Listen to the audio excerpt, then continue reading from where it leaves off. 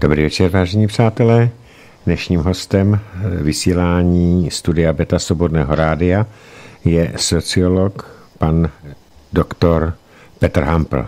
Pane dobrý Hampl, večer. dobrý večer, já vás tady u nás vítám po nějakém čase.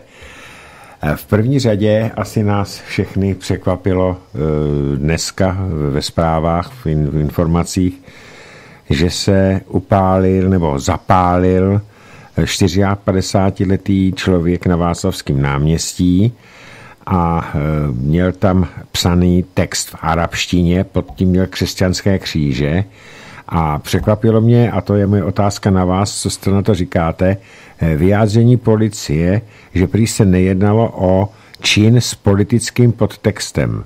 Já, jestli tam bylo arabské nějaké nápisy a křesťanské kříže, tak v tom jasně politický podtext vidím. Jak vy? Takhle já nesouhlasím tak úplně s tím překvapilo. Samozřejmě nikdo nevěděl, že se stane konkrétně tahle ta věc, ale ono už v posledních dnech se objevilo takové obavy nebo varování, že když v celých médiích probíhá taková masová propagační akce, kde je oslavováno sebeupálení jako něco naprosto úžasného a maximálně hrdinského, že nějaký vabilní člověk, který to poslouchá a na kterého to působí, protože ono to je opravdu masové, masivní, ano, ano. tak nakonec, že tady nějak takový nešťastný čin udělá. A já musím říct, být třeba dneska v kůži pana Halíka, nechtěli být na jeho místě, co on teď asi musí prožívat, doufám, jestli teda máte nějaké zbytky svědomí. A ono ještě k tomu je zajímavé, že tady vlastně už několik let je taková vlna, že se říká, nesmíme dopustit to, aby se šířily nějaké špatné emoce, třeba nějaká nenávist, takže musíme cenzurovat tohle, zakazovat tohle. Jsou na to už vlastně desítky lidí dneska specializované, aby jenom kontrolovali veřejný prostor a cenzurovali a cenzurovali. A navzdory tomu, že tady máme takovouhle obrovskou cenzuru, se stane to, že vlastně ve všech mainstreamových médiích se několik dní neustále oslabuje sebevražda. No a pak to samozřejmě vede k tomu, že se najde nějaký labilní člověk, který tu věc opravdu udělá. Já bych, eh, nevím, jestli byl labilní, samozřejmě. Eh, každopádně já jsem četl ty diskuze o eh, tom 50. letém výročí upálení Palacha. Byl to můj vrstevník, já jsem ho několikrát viděl, nebyl jsem s ním kamarád, ale viděl jsem ho několikrát, když jsme se potkali na obědě. A byl jsem na jeho pohřbu samozřejmě, strašně to na mě působilo. Nicméně zarazilo mě, Eh, kolik nenávistných komentářů na sociálních sítích se k tomuto činu objevilo. Pane Hample, vy jste sociolog, vy se tím zabýváte. Kde se to bere v těch lidech? Jan Palach byl člověk, který chtěl tou svou pochodní číslo jedna, jak se nazval, vyburcovat lidi k odporu proti okupaci. A nazývat ho takovými pejorativními výrazy, který ho ty většina těch lidí nazývala, mě to osobně, říkám jako vrstevníkovi, eh, mě to uráželo. Eh, kde se to v těch lidech bere, ta nenávist nebo ta zloba? Takhle, on ten Palachův čin se odehrával v nějaké historické situaci a v nějakém kontextu. A já mám pocit, že část těch debat probíhala tak, jako by to bylo tady dneska v, naš, jako v naší současnosti hmm. přímo před námi. A samozřejmě, že to bychom to hodnotili jinak, protože dnes je jiná situace, jiný kontext, je zapotřebí dělat jiné věci. A jako by si tu část těch lidí vůbec neuvědomila, že to, že to je o něčem jiném. To si myslím, že je půlka toho. A druhá půlka toho je v tom, že česká společnost je v tuto chvíli velice hluboce rozdělená a ty strany už jsou v podstatě nějak dány to rozdělení je velmi emotivní a obě strany, bych řekl, čekali na nejmenší záminku znovu zalehnout do zákopů a pustit se do sebe a zase nechat rozněcovat ty emoce, což jsme tady teď viděli. Zase to bylo na obou stranách. Eh, je to samozřejmě nesprávně. Ale připomenu, že po prezidentských volbách, protože v prezidentských volbách to také bylo taková výrazná vlna emocí, ohně nenávistných, aby to řekl na obou stranách, že ta strana, eh, ta řekně kavárenská, sluníčková, slibovala, teď se budeme chovat o něco lépe, teď lidi přestaneme tolik urážet, budeme se snažit, aby toho rozdělení bylo méně. A když se podíváte, jak se chovají od té doby, tak je to spíš obráceně. Vyhrocují to, naopak se snaží ještě lidi vyprovokovat a pak to vede k takovým výlevům, které jsou stupidní a nenávistné. Máte pravdu, jo. Navíc eh, já se domnívám, že sebevražda upálením eh, vyžaduje určitý stupeň odvahy, protože to je eh, snad ta nejhorší, nejhorší způsob té, té, tohoto odchodu. Nejvíc to bolí, je to něco příšerného, kdo byl někdy popálený, tak to ví. A dělat z toho pána dneska, co se tam zapálil, tak dělat z něj v podstatě blázna a já nevím, co, co, co jiného, mně to připadá trošičku, trošičku podivné. Eh, on je popálen podle informací na 30% těla, to by mohl přežít, tak by mě strašně zajímalo, eh, zdali potom někdy náš mainstream a policie České republiky zveřejní motivy tohoto tohoto pána, eh, který byl, byl 54 letý, eh, který toto udělal. Eh, co myslíte, jak to dopadne?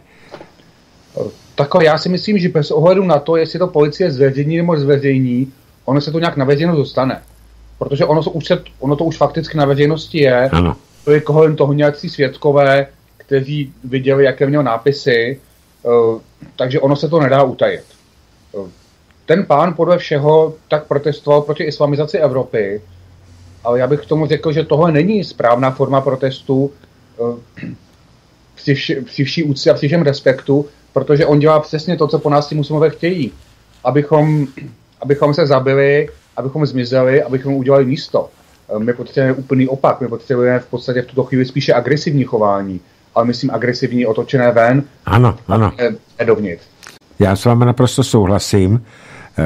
Maně si tak vzpomínám na jednoho ruského generála, já už jsem o tom hovořil, teď to zopakuju, který eh, říkal hm, u těch dobrovolníků, kteří chtěli zaléhávat kulometná hnízda, obětovat se, On pověděl, já, já nepotřebuju hrdiny, kteří padnou, já potřebuju vojáky, kteří budou zabíjet ty Němce, tedy toho nepřítele, delší dobu.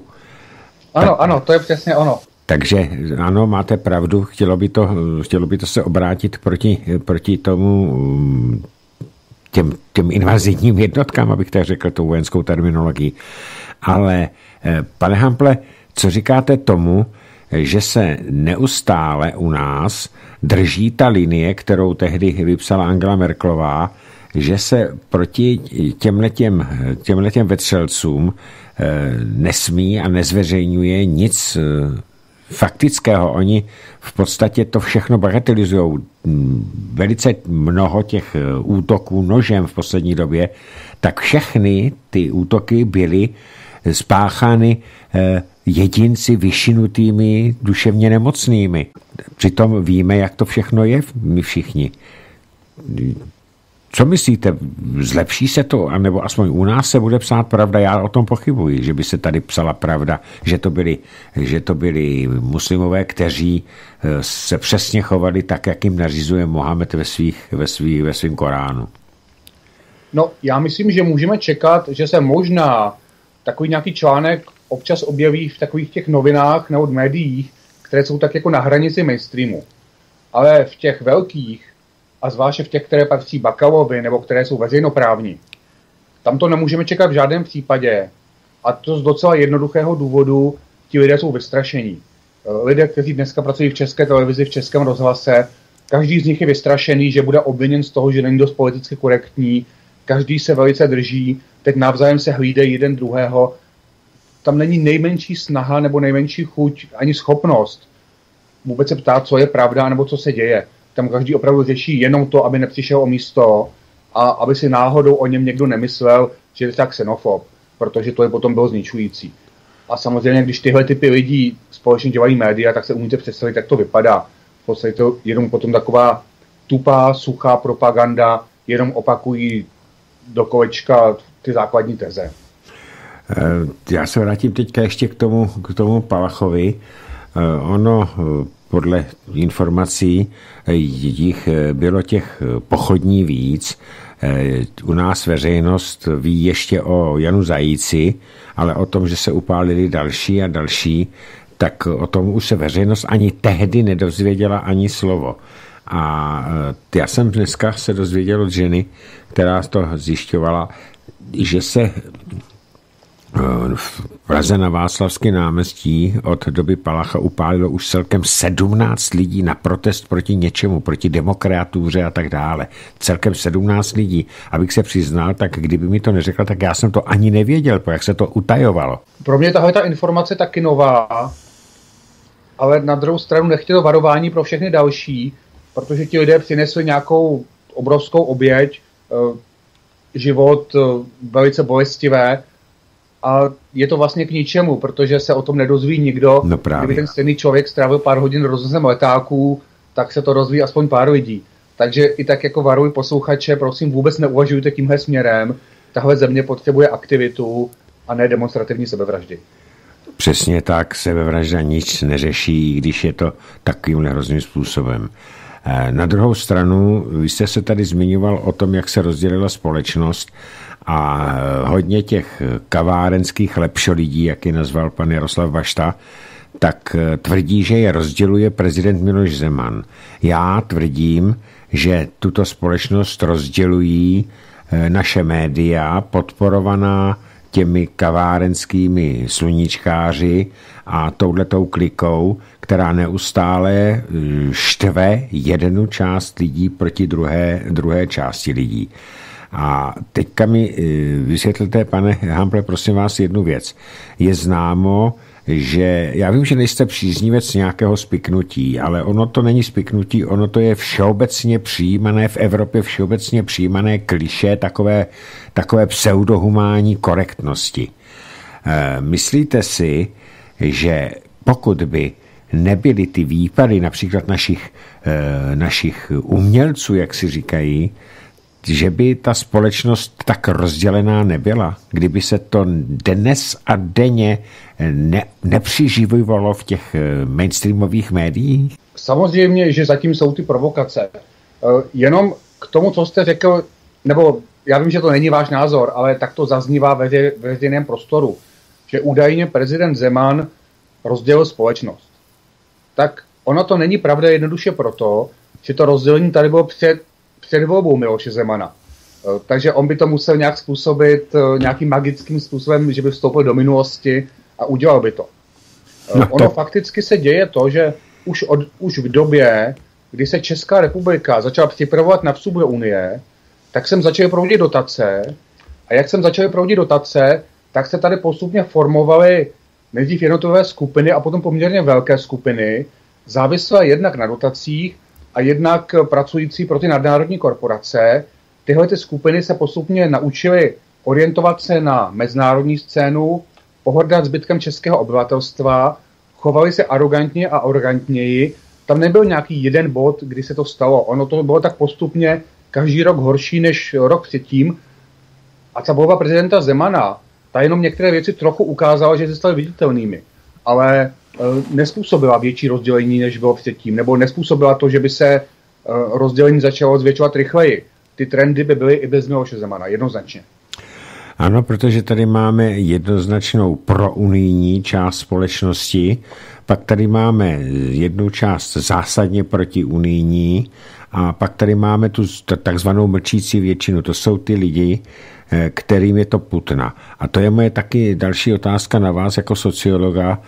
Pane Hample, eh, myslíte si, že přijde doba, kdy, ta, že kdy se český národ z té letargie probudí, uslyší zařvat toho, toho českého lova a bude se víc snažit zachránit tu naši zemičku před tím, aby se z ní stalo to, co už dneska je v Evropě, eh, hned vedle v Německu nebo, nebo ve Francii, v Anglii?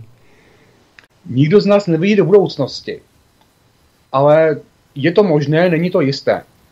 Když se podíváme na to, co se děje v západní Evropě, tak vidíme, že v některých zemích nedošlo k žádnému takovému vzepětí, ani když ten národ na to byl hodně špatně, že není žádný bod, kdy už by lidé řekli dost. Že to nakonec jde až k úplnému třeba vymizení toho národa nebo úplného zničení. Takže jeden scénář je skutečně takovýhle.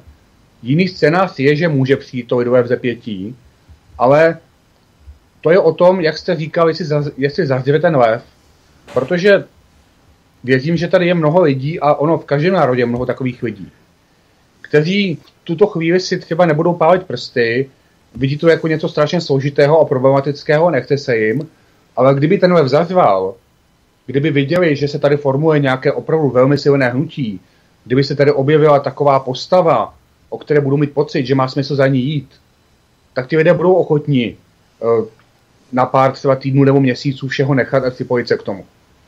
A teď je to podobně hodně o tom, jestli se tady takové nějaké silné hnutí odporu sformuje, jestli se tady najde tak silná postava, kež by se to stalo. Zatím tady máme jednu mm, stranu nebo hnutí, které eh, je ryze pro národní, to máme Okamurovu SPD a teďka eh, oznámil majitel a moderátor všeho na televizi Barandov Jaromír Soukup, že zakládá Eh, list Jaromíra Soukupa, další politické hnutí a hodlá se účastnit voleb. Eh, první otázka ohledně tohoto, tohoto vzniku nové strany na vás je, zdali si myslíte, že to, co udělal pan Soukup, je rozumné, jestli to má naději na úspěch a pak budou následovat další otázky. Ono se to v tuto chvíli nedá soudit, protože my vlastně o tom jeho hnutí nebo v straně, nebo co to bude, nevíme vůbec nic. Eh, vyšlo takové poměrně krátké prohlášení, není z toho vidět, s jakými lidmi to bude dělat, eh, není z toho vidět, jaký vlastně bude program a některé názory pana Soukupa jsou známé, jiné ne. Není jasné, co z toho chce eh, preferovat přednostně, protože taková ta věta, že bude bojovat proti oligarchům, toho se toho moc nepozná nevíme vlastně vůbec nic, nevíme, jestli se bude soustředit jenom na eurovolby, nebo potom jestli bude chtít jít do parlamentních, jestli bude usilovat o prezidenta. Tuto chvíli se k tomu vlastně nedá nic komentovat, jenom víme, že se o čem si rozhodl a nikdo neví o čem. Eh, druhá otázka, eh, a to je přímo eh, na vaši odbornost. Jaký voličský segment si myslíte, že to jeho strana nebo hnutí může oslovit? Já se odoba, nebo domnívám, že ti voliči, kteří volí eh, ANO, kteří volí eh, ODS, takže ti by asi pana Soukupa nevolili. Tak na jakýho voliče by se měl on obrátit? To je zase to, že my nevíme, s jakým programem a vlastně ani jakým etosem bude pan Soukup vystupovat. Například, jaký bude vztah k islámu. Já od něj neznám žádné jednoznačné vyjádření. Nevíme, jestli bude brát bezpečnost hodně vážně až do té míry, že by chtěl opustit hranice.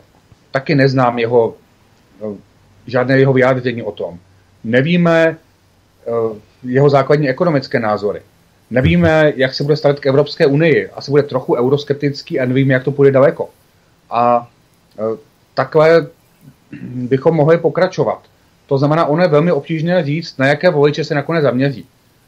Teď se zdá, podle těch prvních reakcí, že ano, mohl by přebrat nějaké voliče ano, a to zejména ty voliče ano, kteří jsou zklamaní s tím, že pan Babiš nakonec nechal podepsat eh, pakt o uprchlících. O tom se budeme ještě bavit. Ale, ale to by mohlo přivést panu Soukupovi nějaké voliče. Potom, pra, potom pravděpodobně bývalé komunistické voliče, tam asi má nějakou šanci Eh, voliče, kteří zbydou po rozpadu ČSSD, taky nějakou šanci a samozřejmě SPD. Já mám pocit, jako podle dění na sociálních sítích, že v SPD, aspoň mezi řadovými členy, že teď panuje taková jako trochu chmurná atmosféra, eh, jak velké riziko to pro ně bude a jak moc to tu stranu poškodí.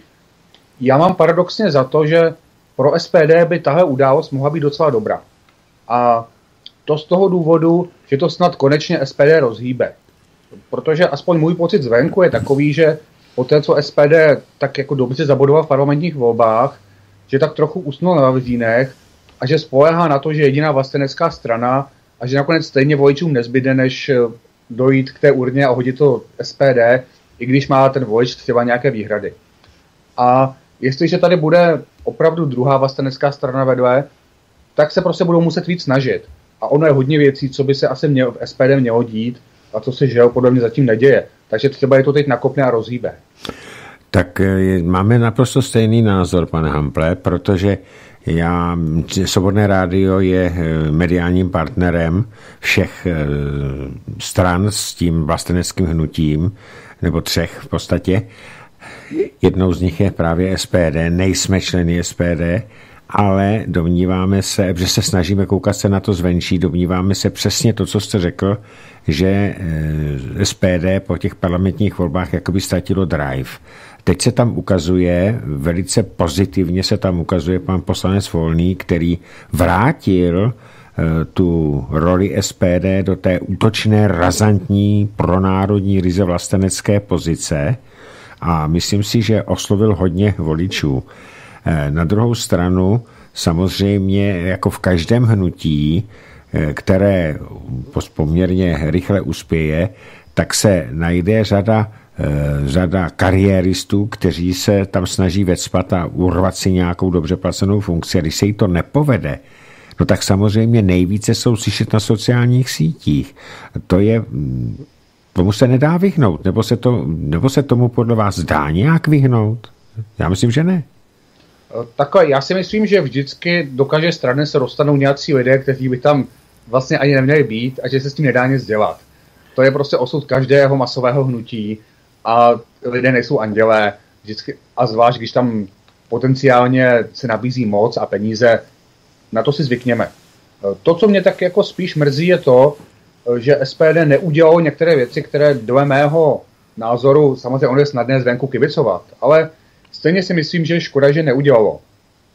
Protože podle mě výborně pracují v parlamentě, ale třeba podle mě je špatně, že neintegrovali takové různé nezávislé a polonezávislé skupiny vlastenecké, eh, se kterými je spojeno hodně energie, ti lidé dělají hodně práce a myslím, že mnozí z nich by byli ochotní pro SPD pracovat i třeba na nějaké velmi nízké úrovni, asi by se necpali na žádné kandidátky a že se třeba tohle to nepodařilo.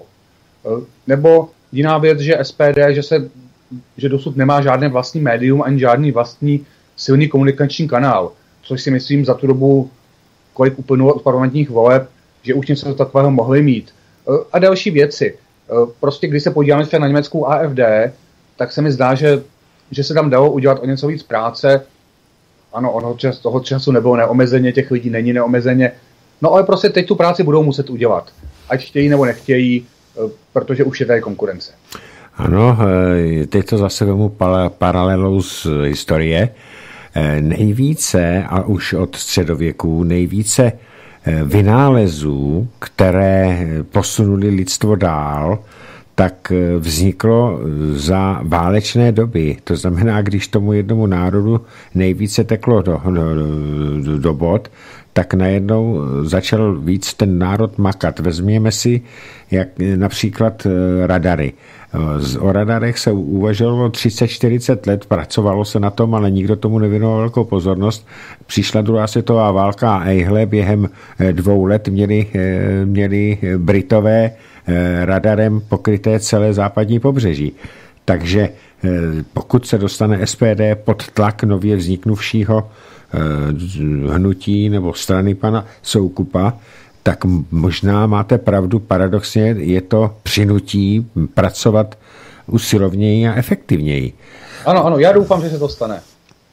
Já taky doufám, že se to stane, protože by byla škoda, aby eh, s těmi názory nebo s tím, co, co prosazují, tak aby eh, v podstatě vypadly. Eh, další taková otázka, která mě zajímá. Pane Hample, Teď se rozvinula taková národovecká vlna stran po celé Evropě od Polska počínaje přes Maďarsko, i Slovensko do toho počítám, Rakousko, samozřejmě eh, Itálii, Francii.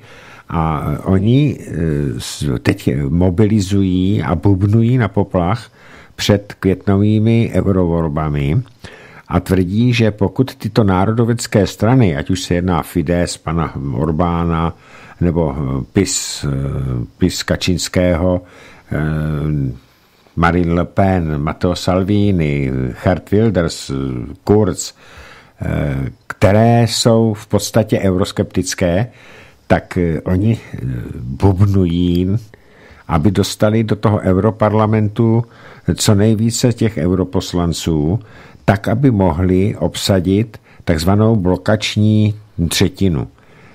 E, myslíte si, že i kdyby se jim to podařilo, že by to mohlo vést k zásadní změně politiky Evropské unie a hlavně Evropské komise, že ta se bude volit nová? Já se bojím, že ne. E, dokonce bych řekl, ano, určitě je dobré, nebo je důležité, aby tam ty vlastenecké strany zabodovaly. Určitě je dobré, aby měli minimálně tu blokační třetinu, s tím souhlasím. Ale nečekejme od toho nějaký převratný e, obrát, e, protože mám za to, že dokonce i kdyby ty vlastenecké strany měly 90%, tak ten aparát je tak strašně prolezlý těmi nejhoršími anticivilizačními fanatiky od zhora dolů, že bude velice obtížné s tím něco udělat, bude to trvat celé roky.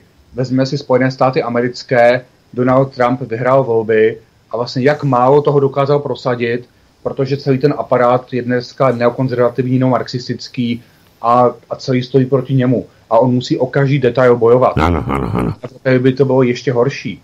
E, nicméně zdá se mi, že je docela rozumné, nebo že je správné, že pro mezi vlasteneckými silami v různých zemích. E, protože tady je často taková představa, že bychom nějak mohli odejít z Evropské unie, zbavit se jí a tím by to skončilo.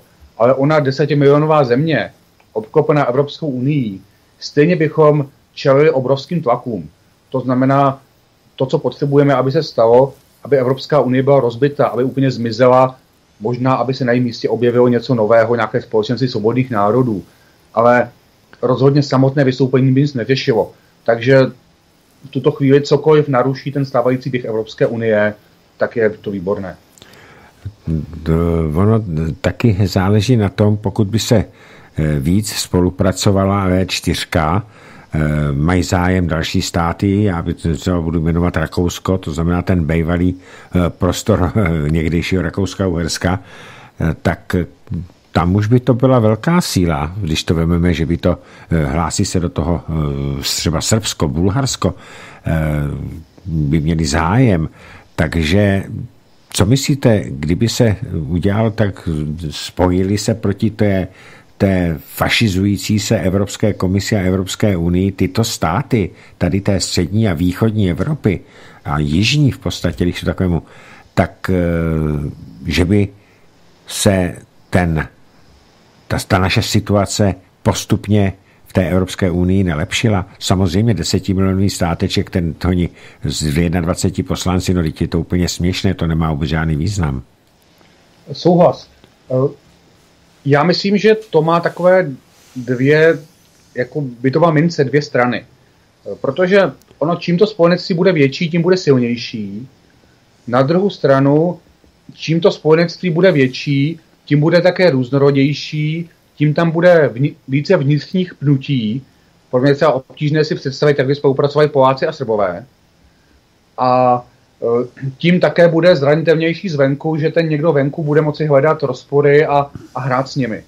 Takže ta otázka, jak, jak velké e, má být to spojenectví, je velmi obtížná.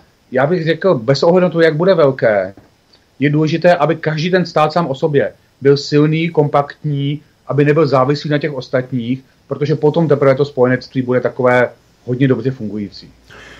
A hlavně každý ten stát, stejně jako ty lidi, eh, by měli potlačit trošičku té, ty své eh, vlastní zájmy a pracovat spíš pro ten celek.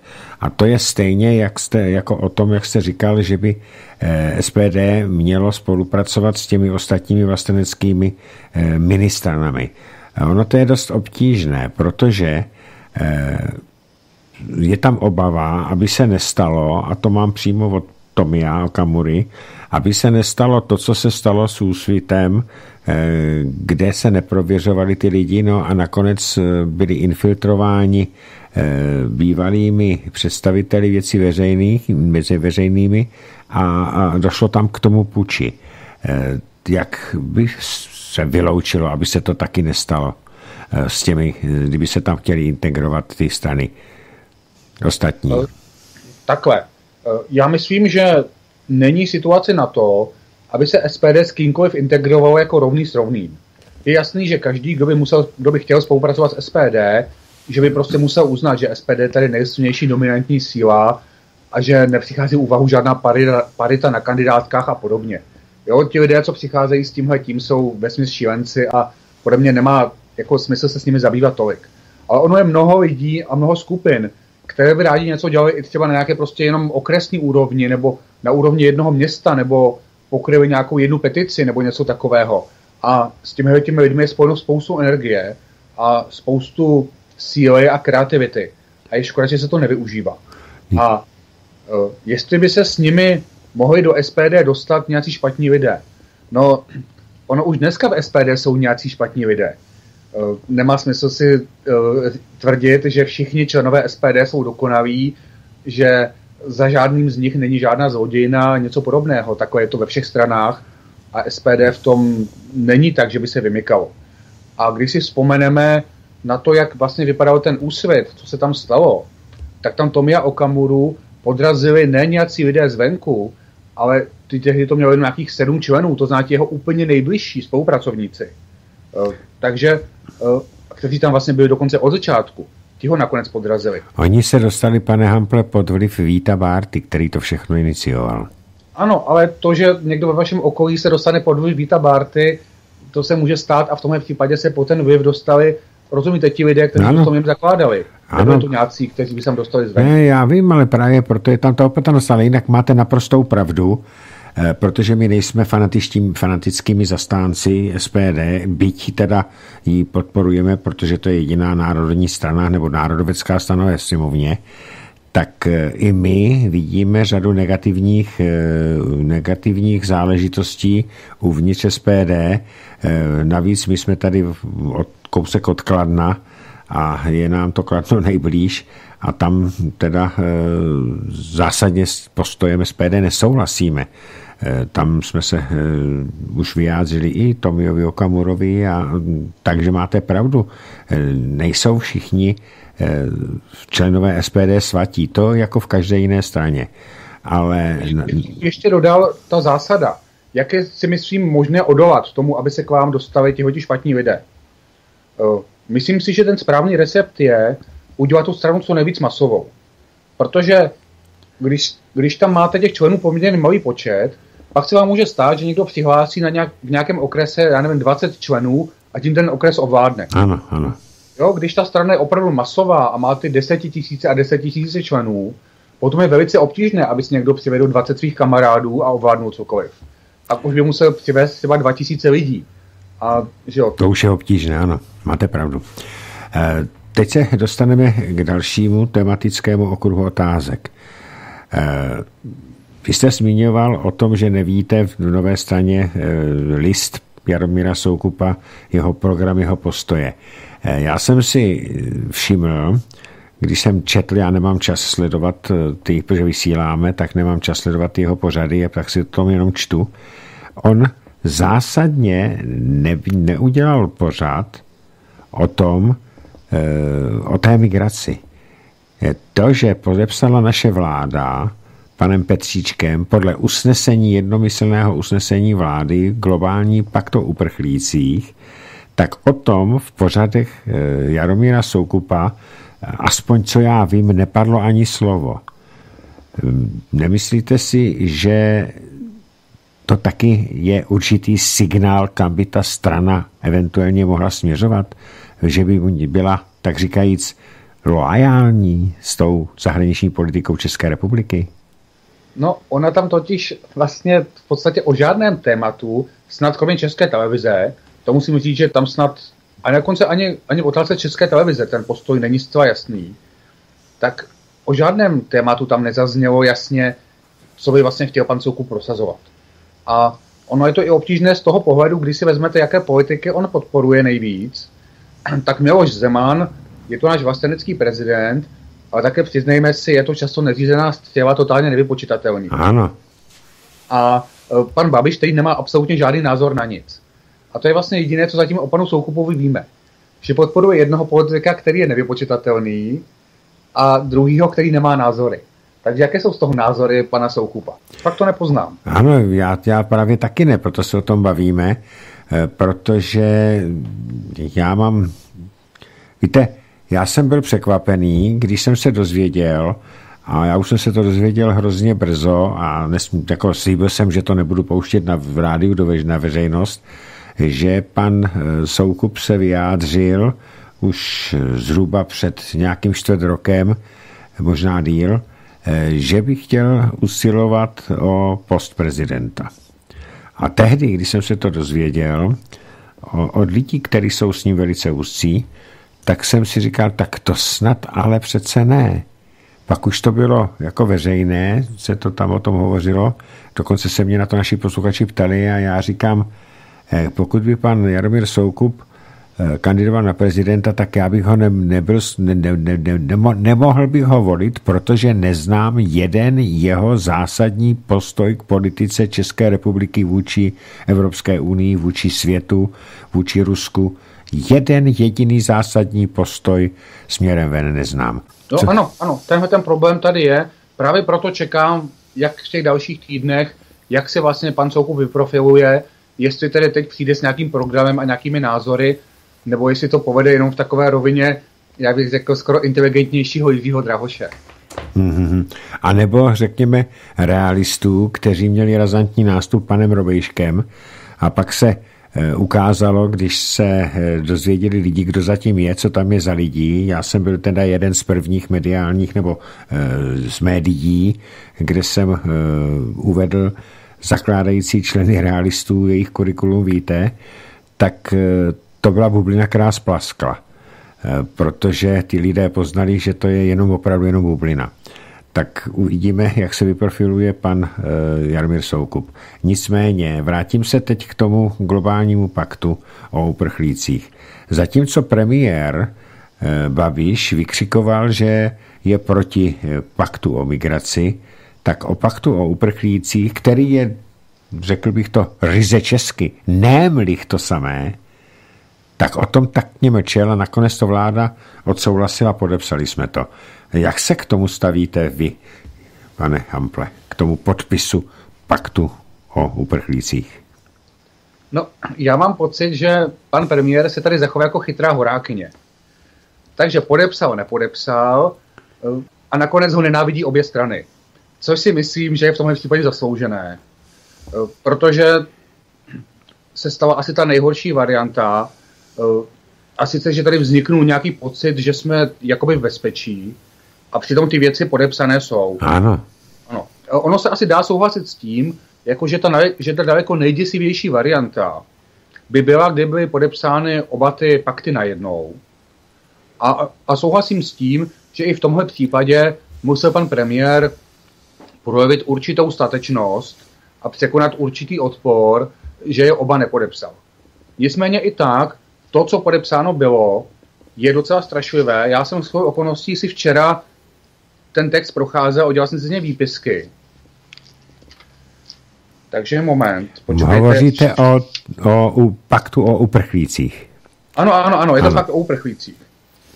A tam jsou totiž takové věci, jako například, že uprchlík je každý, kdo prchá před zhoršením podnebí nebo chudobou. Ano.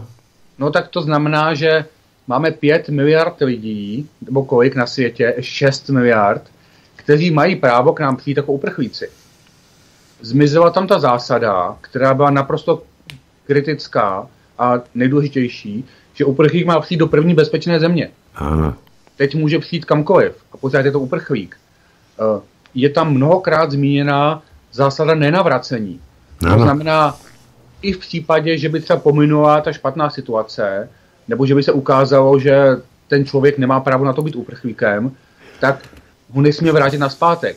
A máme tady povinnost ho živit, dokonce se tam píše dělat nějaké programy, aby on tady mohl snadno založit podnik. Je přímo v té smlouvě napsáno udělování občanství, se tam přímo zmiňuje.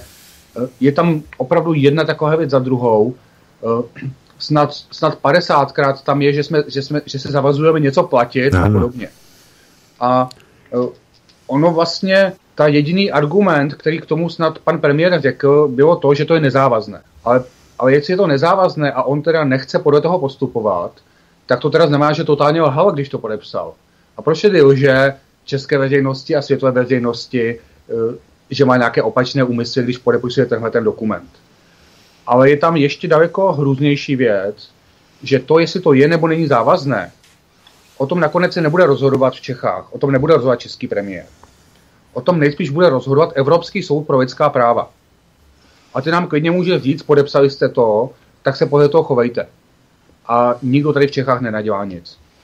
No a co by to pro nás, pro Čechy znamenalo? No, to by pro Čechy znamenalo, že pokud se, něk, pokud se saudský král rozhodne přesunout do České republiky 3 miliony Somálců, tak na to má právo.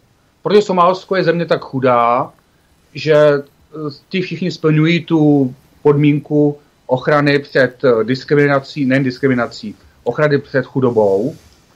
To znamená, má právo je, má právo je převést do České republiky, my nemáme žádnou možnost tomu bránit a tady nám vzniká povinnost se o ně starat, eh, zacházet s nimi pod jejich kultury, akceptovat jejich kulturní odlišnosti až po udělení občanství. K něčemu takovému jsme se například zavázali. No a to by znalo přesně to, před čím my tady varujeme řadu let. Toto by byl totální zánik, eh, nemluvím jenom o České republice, ale celé Evropy. To, co už se to taky děje teďka v podstatě.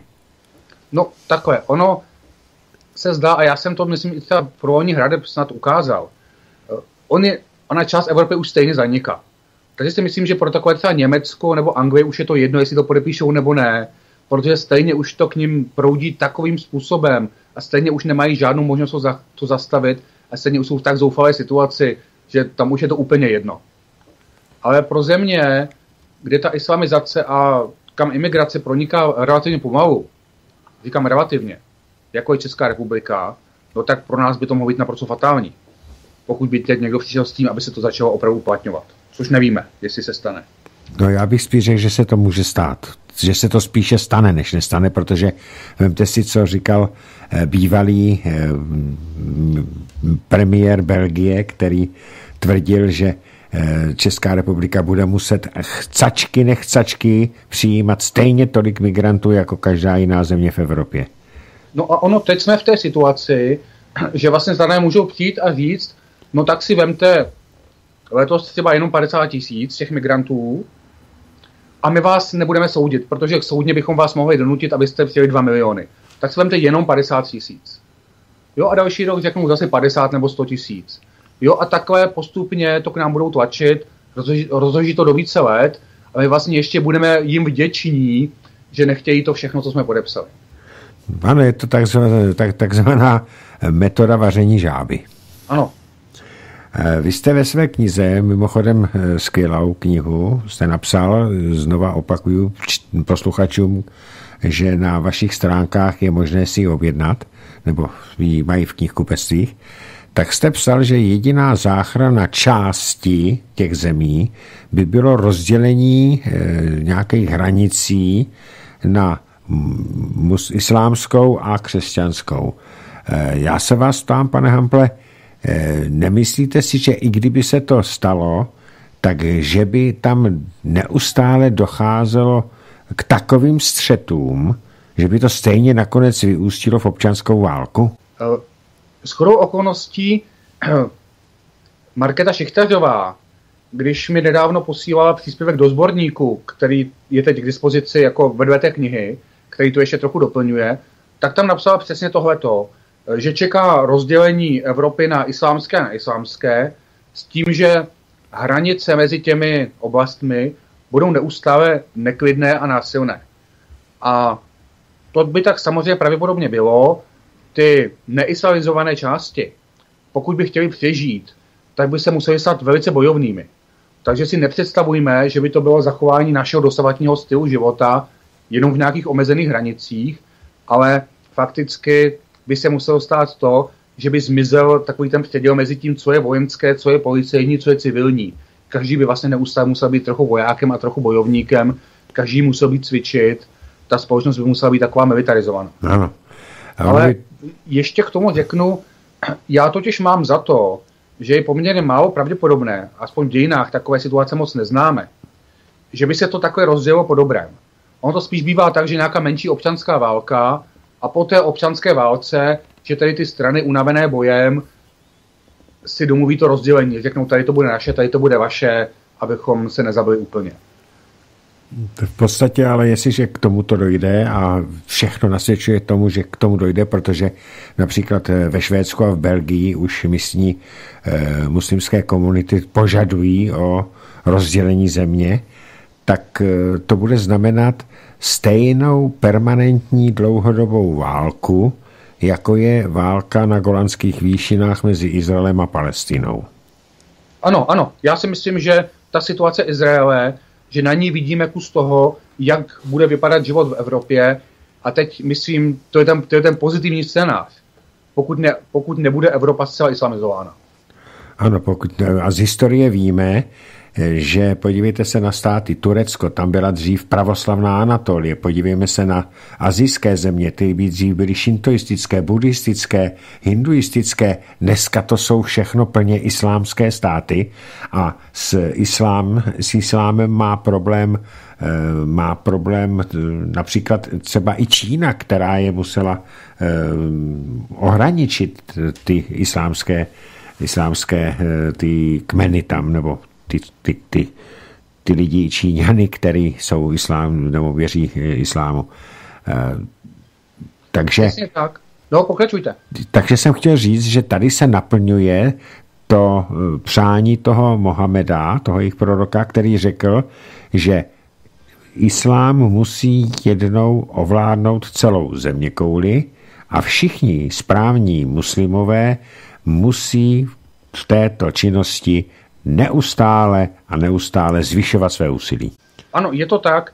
Mně se zdá, že takovým jedním z problémů naší západní civilizace nebo křesťanské civilizace je to, že si vlastně nikdy v dějinách nepřipustila, jak obrovské nebezpečí je islám.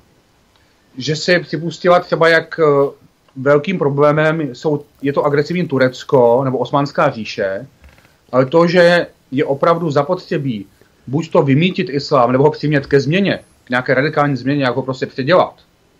A že to budeme muset udělat my, protože nikdo jiný na světě asi není, kdo by to mohl udělat. Tak eh, tohle to si Evropané neradi připouštěli, to znamená, že oni odrazili tu hrozbu, ale nechali tam ten islám dám bujet a on vždycky ve vhodné chvíli znovu a znovu znovu zautočil.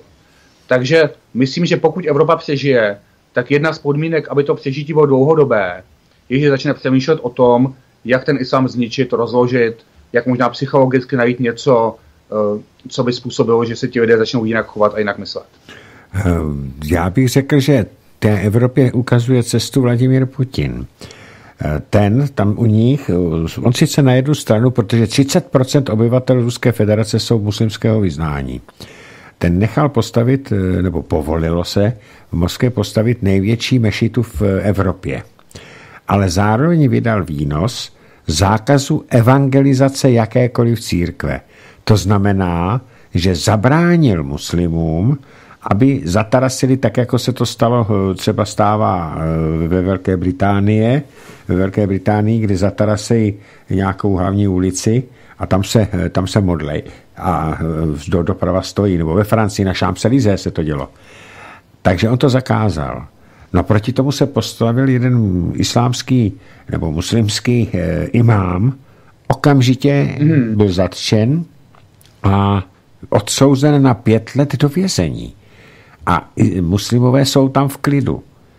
Takže není ta cesta, a opět znovu říkám, eh, SPD to v parlamentu ve sněmovně navrhovali bezúspěšně, eh, zákaz islámu jako zločinecké ideologie. Co říkáte, pane Hample, na to, že žádná strana z naší sněmovny, ani jedna, tento návrh nepodpořila. No, já vám za to totiž, že když se podívám, jak funguje česká politika, tak ono to fakticky je tak, že tady sice nějakých 8 nebo 10 nálepek různých politických stran, ale fakticky je to kartel.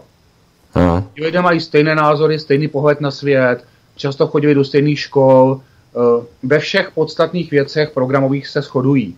Takže se jmenují ODS a ANO a TOP a STAN a Piráti a nevím, někoho jsem asi třeba vynechal. Ale, ale rozumíte, fakticky to je jedna velká strana hmm. a ono jenom tím, že to mají rozděleno na hodně jednotek, tak tím dosahují toho, což je svým geniální, že tam spoustu míst předsedů a místo předsedů a dalších různých jiných funkcionářů fakticky se chovají jako jedna strana. Kdykoliv je nějaké důležité hlasování, tak hlasují stejně. Je Takže to... ano, je, je to tragické a souvisí to s celkou mocenskou situací v zemi. Tady se vůbec nedá mluvit o nějaké demokracii. Na druhou stranu, eh, jak se lze bránit eh, pronikání islamizace, ne? tak nám mohlo ukázat Tajsko. Já mám materiály, že Tajci zakázali islám ve své zemi jako ideologii a jako náboženství vůbec.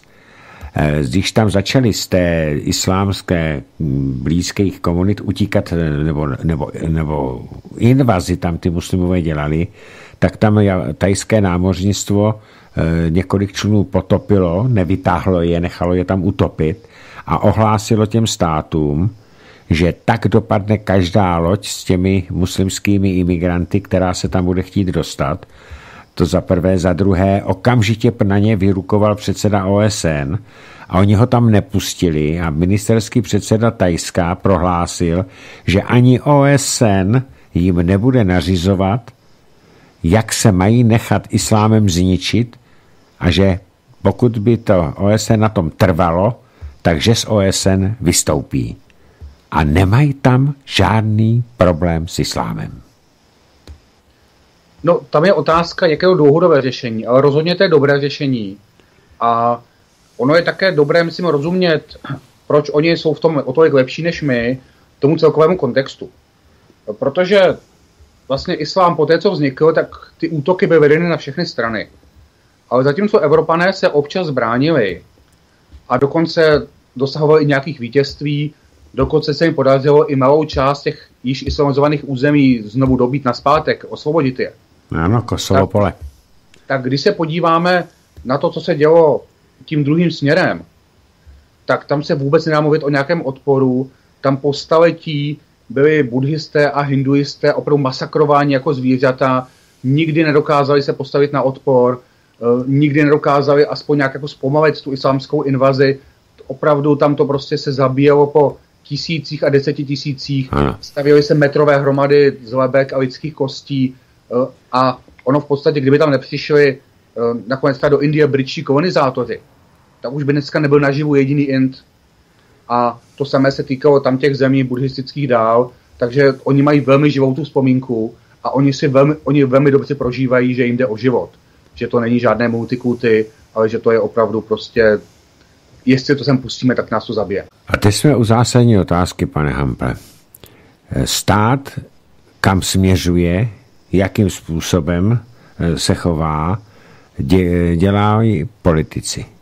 Politiky si volíme. Pokud si zvolíme stranu a premiéra, který se chová jako chytrá horákyně, že jednu část nepodepíše, druhou část, která je to tež, je, je, je totožná, tak podepíše, který v podstatě se nedokáže postavit Evropské unii eh, tak podobně jako Viktor Orbán, tak co to je za stát, který volí neustále dokola politické strany, které ho chtějí zničit a škodí? Eh, víte, já bych, já bych z toho asi až tolik nevinil voliče. Protože si myslím, že když si to vezmeme pár let dozadu, pár desítek let dozadu a vezmeme si, jak je konstruován stát, jak je konstruována ústava, volební zákony a všechno, tady nikdy nebyl opravdový záměr mít demokratickou zemi. Ne, máte pravdu. Tady, tady, byl, tady byl od začátku záměr nechat tu, aby tu zemi ovládala nějaká poměrně úzká elita a aby také probíhaly volby, aby snad lidé z toho měli docela dobrý pocit eh, a také, že ty volby to měly jako trochu odlišit od toho bývalého komunistického režimu. Ale vždycky byla taková jasná představa, že bude od někud ze zahraničí nadiktováno směřování té země, i ekonomické, i politické, i takové kulturně sociální a, a že lidé v zásadě nebudou mít mo- uh, žádnou možnost toho mluvit. Tak podle to vypadá volební systém, k tomu směřuje ten současný systém politických stran a všechno ostatní. Uh, to, co v tom je jediné, uh, jako co nám dává nějakou naději, že oni se občas vyskytnou poruchy.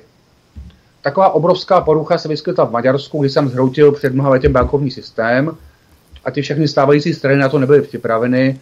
Byl na to výborně připraven Viktor Orbán a jeho Fidesz. A najednou ten systém se změnil. Jiná taková porucha, přímá volba prezidenta. S tím se nepočítalo a že se do toho ještě vmíchá Miloš Zeman, s tím se taky vlastně pořádně nepočítalo a najednou to směřování bylo jiné. Já mám za to, že i třeba vůbec vznik ODS a, první, a takové to vítězství Václava Klauze, tuším, že v roce 91 v parlamentních volbách, že bylo taky neplánované. Že se předpokládalo, že ta, že ta parta kolem Václava Hava velmi snadno obsadí parlament a že země bude směřována úplně jinudy, než jak vypadaly 90. léta. Ale pak taky oholem po pár letech se to podařilo na zpátek dostat na tu původní trajektorii. Hmm, ano. Takže já bych řekl, jako nevy, neviníme z toho občany, protože v rámci stávajícího systému ti občany opravdu nemůžou dělat, myslím, u vole víc, víc než teď dělají. Ano, mohli by, mohli by volit moudřeji, ale nemůžeme prostě počítat s tím, že každý v národě bude analytik a každý, uh, a každý bude jednat velmi moudře v tomhle. Druhá věc je, že jsou věci, které se dají dělat a které si myslím, že teď lidé nedělají a to je zase, a to je zase na druhou stranu škoda. Co myslíte, že by se dali dělat a nedělají? Já mám pocit, že kromě takových, takového toho angažování se v politických stranách nebo kandidování ve volbách, že tady je potřeba ještě obrovského množství takové vlastenecké, probuzenecké práce, něco jako bylo třeba to národní obrození, teď se často mluví o druhém národním obrození, to jsou ty různé místní spolky, to jsou ty besedy, to jsou ty třeba místní nátlakové akce, to je šíření různých důležitých dokumentů, aby lidé věděli, o čem, o čem to je vzájemné pozbuzování se, podpora. Rozumíte, aby vznikla tahle ta velká síť, protože každý politický projekt, který se v budoucnosti objeví, tak bude na téhle té síti nějak závislý, jestli existuje nebo ne. A uh, mám takový pocit, že je mnoho lidí, kteří třeba přijdou na besedu, já jsem samozřejmě rád, uh, koupí si moji knihu, přečtou ji, půjčí známým, já jsem také rád, ale když chcete najít člověka, který by třeba jenom dva tý, dvě hodiny týdně se věnoval nějaké smysluplné práci v nějakém vlasteneckém spolku, tak zjistíte, že to je hrozně těžké. A že takový člověk často se po měsíci ztratí zájem. A já rozumím tomu, že nikdo nemůže dělat dvě hodiny denně, ale za dvě hodiny týdně to by se snad dalo. A fakt je těžké takové lidi najít. A přitom je tady řada spolků, kteří dělají dobré věci a, a chybí jim ta lidská kapacita. E, takže třeba k tomuhle tomu bych i tak jako docela rád tady vyzval, e, aby lidé v tomhle tom zaktivněli a aby nečekali, že když takhle začnou pracovat, že se do měsíce změní situace. Jo, vemte si, oni ti muslimové, jak nás obsazují, oni také vědí, že, tam, že jim to bude trvat 20, 50, 70 let, než se 100% zmocní té země. Ale pracují na tom kus po kousku. A je zapotřebí, aby i ta vlastenecká strana se naučila eh, oceňovat a naučila se dělat tyhle ty drobné věci. Pracovat hodinu týdně, ale pravidelně, třeba celý rok. Ano, a v podstatě tahat, ne tahat, ale přemlouvat ostatní, kteří jsou líní, aby se tam šli podívat, aby si šli poslechnout, aby se jim otevřeli oči. Ano, ano, ano, ano to, to přesně tak. A, a dělat to systematicky, vytrvalé, učit se, protože víte, když něco děláte, vy to znáte z rádia, když něco děláte roky, jste v tom dobrý. Když něco uděláte jednou, na začátku to většinou tak dobrý není. Mm-hmm, je to tak. Pane Hample, my si dáme teď 4 hodinky přestávku pustíme si nějaké vlastenecké písničky a e, od Tomáše Ortele třeba hmm. a, e, nebo od Jarka Nohavici a Bežte na 9 e, se opět uslyšíme, zůstaňte připo, připojený a za čtvrt hodinky se budu moc těšit na slyšenou. Potom dostanou prostor i naši posluchači. Dostanu, děkuji. Tak zatím máme po přestávce a já volám pana doktora Hampla, slyšíme se? Já vás slyším. Já vás taky ještě jednou dobrý večer. Eh, pane Hample, eh, než dáme prostor posluchačům, kteří už teď můžou volat, nebo za chviličku, eh, nebo psát SMSky na telefonní číslo do studia Beta 731 720 756, tak bych rád měl ještě jednu otázku nebo jednu odpověď na otázku od vás. Mm. A ta otázka je v celku jasná. Vy jste říkal, že ten, ta snaha těch muslimů bude trvat já nevím, 10-20 let. Moje otázka zní, nezdá se vám, že zatímco zpočátku ta islamizace šla postupněji, pomaleji, teď jakoby nabývala rychlosti a v podstatě se to velmi rychle urychluje. Neobáváte se, že by to mohlo trvat eh, poměrně kratší dobu, než sem přijde těch muslimů tolik, aby nás tady zcela převálcovali?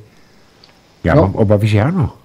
E, takhle, ono je to pořád tak, že tady jsou dva scénáře. Špatný a velmi špatný. Ten špatný je, že bude pokračovat ten dosavadní proud, anebo se bude trochu zrychlovat. Ono samozřejmě, máte pravdu, že se to urychluje a to docela obyčejně tím, že muslimové chodí za islámský, tam, kde už jsou islámské komunity. Takže když tady vlastně skoro žádní nebyli a teprve se budovaly ty komunity, tak eh, to šlo pomalu. Dneska, když v Čechách funguje Sharia soud, jsou tady desítky modliteben a mešit a různých komunit vlastně dneska v každém okresním městě skoro, tak je to daleko snažší. Eh, takže to rychlejší je. Ale to je pořád ta varianta špatná. Pak je varianta velmi špatná a to je to, že bude uplatněna opatření třeba z toho paktu, o kterém jsme se před hodinou bavili. Ano, ano. To je pak mohlo znamenat, že tady přibudou tisíce nebo dokonce i třeba miliony uh, nových muslimů během klidně jednoho roku, dvou let. No, toho ono nezapomínejme, že tam není žádná horní hranice. Třeba uh, v tom slavném dokumentu Evropské unie je, je kapacita České republiky vypočtena, tuším, že na nějakých, jestli to říkám správně, 74 milionů lidí. To znamená, že klidně by se mohli poslat 20-30 milionů a nebude ta kapacita dosažena podle nich. Ano, přesně tak, z toho já mám taky obavy. A druhé, druhý související otázka. Víte, ono se na to v podstatě programově dlouhodobě připravuje ta mladá generace. Eh, dnešní tí mladí 20-25 letí lidé se už dívají na tu postupnou islamizaci Evropy, ale i České republiky úplně jinak, než se na to díváme my starší. A to je to nebezpečí, že oni už zblbli tu mladou generaci. Já s tím souhlasím, je, je, to, je to tak. V podstatě tam to není tak, že ti mladí lidé by chtěli se stát muslimy, nebo že měli mít ambici, že z nich budou muslimové. Někteří možná, ale většina rozhodně ne. Nicméně jsou vedeni k tomu, že pokud narazí na islám, takže správná reakce je podřízení se. To znamená, že je vlastně normální a správné, že Evropan uzná, že islám je ta nadřazená ideologie, nadřazená kultura, nadřazené náboženství a že akceptuje všechny požadavky, které muslimové mají na ty podřízené. K tomu jsou dneska už v podstatě už od školek vedeni. Ano, ano. A dokonce je vypracován takový celý složitý aparát slov, aby tam nebyla ta slova jako podřízení se a otroctví a, a podobně a placení nějaké té speciální náboženské daně, takže se to nahrazuje různými takovými složitými výrazy kolem multikultury a společného soužití a tak dále, ale jsou to úplně přesně ty požadavky, tak jak je nadiktoval Mohamed. Přesně Takže tak. skutečně je to tak eh, a to je vlastně ten další děsivá věc, na kterou jsme tady neměli čas, a to je to české školství. Ano, o tom si můžeme udělat pořád někdy příště, potom domluvíme, eh, protože to je opravdu děsivé. Eh, úplně poslední otázka tady odsud ze studia.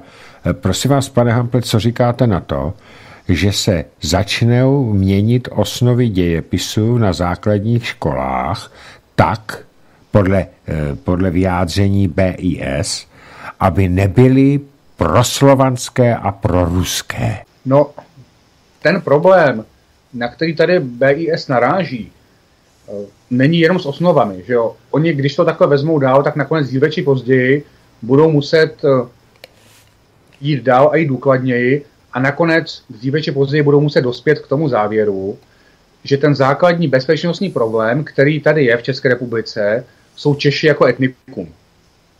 Hmm. To, to znamená, že z toho toho prostoru by mělo být to etnikum odstraněno, pak tady bude bezpečno. Ano, přesně tak, to už uh, přeci... To kone... před nimi, že jo? Ano, konečně, konečně řešení Reinharda, Reinharda Heydricha, že? Přesně tak, protože Češi jsou etnikum, které, já teď nechci řešit tak geneticky, ale kulturně je zcela jistě slovanské a je takové po tisíc let, má nějakou svoji představu o životě, nějaké svoje dějiny, takže co s nimi? Oni tady vždycky budou rušit.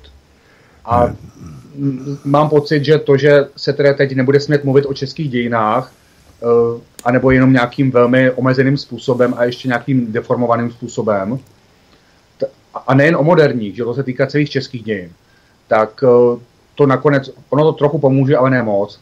Nakonec jim stejně nezbyne, jestli tě Čechu zbavit úplně. Přesně, tak já z toho mám taky takové obavy, nehledě na to, že se už teďka eh, v televizi dokonce objevují takové karaviny historické, jakože druhou světovou válku rozpoutali Rusové.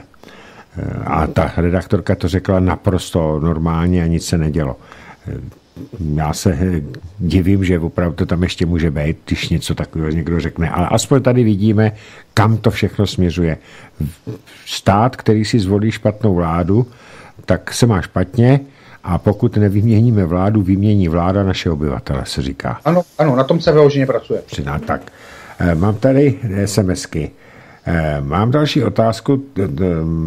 Mám otázku na vás, pane Kapal. Proč je pan VK tak halasně nenávistný vůči SPD, co pořád s panem VK na svobodném vysílaču? To několik útoků na SPD, Bohumír Gruber z Brna. Eh, pane eh, Grubere, tuhle tu otázku mi pošlete v pondělí nad, pořadu nad dopisy posluchačů, tam vám to vysvětlím, řeknu, co zatím vším je a dneska to je eh, mimo, mimo eh, téma, takže se nezlobte. Dejte mi tu otázku ještě jednou v pondělí, protože já si na ní nespomenu. Eh, další otázka. Dobrý den, pánové. Na internetu jsem zblízkl informaci, že v britské královské rodině probíhá islamizace. Je to informace anebo dezinformace? Ptá se Bohumír z Brna. Tak co by na to, pane Hample? Tak rozhodně se nestalo to, že by nějaký člen britské královské rodiny se viditelně rozhodl pro islám. A jestli tam probíhá islamizace nějaká někde vevnitř v tom smyslu, že čtou islámské texty, že se schází nějak s nějakými imámy, to zcela jistě. Eh, konec konců princ Charles už před nějakými 20, dokonce možná 25 lety řekl, že islám by měl být eh, hlavním náboženstvím nebo minimálně jedním z hlavních náboženství Velké Británii že by on chtěl být hlavou muslimů a podobně. Hmm, Takže hmm, tam ty hmm. sympatie jsou. Jestli se teď něco posunulo, možná ano, možná ne, nedokážu tu informaci posoudit. Já taky ne, máme tady telefonát. Dobrý hmm, večer, dobrý, slyšíme se? Dobrý večer, pánové, zdravím posluchač Pavel Valenca. Eh, já k tomu jenom ze začátku, eh, jak jste říkali, že pan Soukup eh, se nevyjadroval k té migraci, měl pořád interview Jaromíra Soukupa 20.12. Tam to má v archivu a má tam pozvanýho Jana Kohouta, to je diplomát, místo předseda vlád, dvakrát byl místo minister zahraničních věcí za Fischerovi nebo Rusnokovi vlády. A tam rozbírá ty migrační pakty a no, fakt kvalitně. Takže to je jen na úvod. A já jsem chtěl, eh, teď jsem viděl včera seminář, eh, jak by měla vypadat armáda České republiky, kde mluvil eh, plukovník zastoupení inženýr Jaroslav Štefet. A on se vyjádřil v tom smyslu, že vlastně koncepce armády, že vázne na, že ten prvotní problém eh, stojí na ministerstvu zahraničí, že nemá do dneška nemá, teda nebo dlouhodobě nemá žádnou koncepci, jak má vypadat vlastně naše zahraniční politika, že je to úhelný kámen a že vlastně důkaz je i to, že za pana Hamáčka, co byl teď čtyři měsíce tam zastupoval, toho nového ministra, tak vlastně vůbec jsme to nepocítili. A já se chci zeptat, eh, že eh, teda vlastně říká, že eh, to ministerstvo, a to, to se chci i zároveň zeptat, jo, on říká, že to ministerstvo dnes neslouží jako ministerstvo zahraniční, ale jako uh, koordinátor při přerozdělování peněz ze zahraničí pro neziskové organizace. Jo. Tak se chci zeptat uh, pana Hampla, jestli to vidí taky tak, protože se mi to zdá úplně děsivý, ale vlastně mi to i napovídá, proč uh, ten pan Poche chtěl tak strašně do té funkce, přitom jsem o něm de facto uh, předtím neslyšel. A pak poslední věc, to, co jste říkali o té bisce, jak tam chtěla na tom ministrovi školství změnu, nevím, a teď je to spekulace. Bavili jsme se o tom, pane Kapale, zednáři.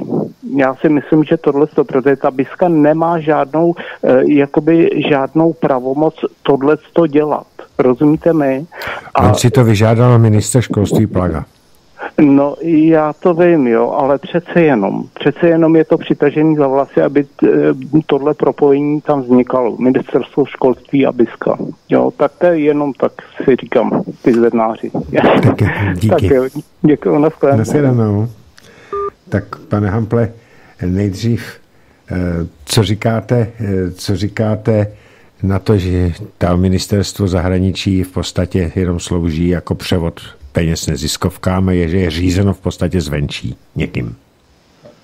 Já jsem to i tak jako chtěl říct, když jsem slyšel ten dotaz, že česká zahraniční politika spočívá v tom, že se čeká na telefon z Berlína a když zazvoní, tak tam teda přijde nějaký pokyn a to se udělá a ano, to je celé. Ano, ano, ano. Teď jsme měli v Německu takové období mezivlády, kdy to snad bylo o něco lepší, kdy jsme si snad mohli dovolit nějakou trochu nezávislejší politiku, že už se to zase vrátilo do původních kolejí. Ale k té otázce, ono to není jenom záležitost ministerstva zahraničí, je to i třeba záležitost školství a dalších ministerstev.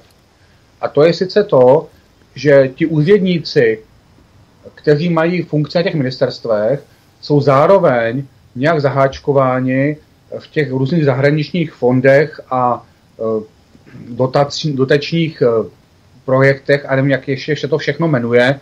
Ono se to pak jako ta norský fond, nebo Lichtensteinský fond, nebo fond po nějakém německém politikovi, nebo učenci, ale je jich opravdu spousta těch fondů. A potom, ono je to fakticky stejné, jako by ti úředníci byli zároveň na výplatní listině Německa, anebo, co je často ještě horší, na výplatní listině Georga Soroše. Protože ono se to tak neví, ale ty norské a lichtensteinské fondy, to není něco, o čem by rozhodovala norská vláda nebo lichtensteinská vláda. To jsou peníze, o kterých rozhodují přímo Sorošovi lidé. Hmm, A třeba, když se podíváme, jak vypadá školství, tak tam v podstatě všichni, kdo se nějak podílejí na osnovách, jsou nějak s těmi těmi fondy spojeny. To znamená, že všichni jsou zároveň na výplatní pásce uh, té druhé strany.